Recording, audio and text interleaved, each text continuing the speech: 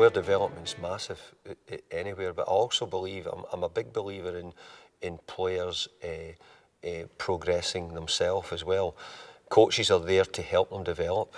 But if the players don't pick it up and don't pick up on, on what they're told, then you tend to find that they, they don't they don't pick it up at all. And I actually do believe that the best players, you know, once you tell them once and say, here's something you should try to do, or this is something you should be looking to do, I do believe that, uh, that the top players pick that up and, and sort of get it in the locker and, and, and move on. If you show a really good attitude to work and get the ball back. Okay, so you've done that. Okay, we're going to take it into the last game.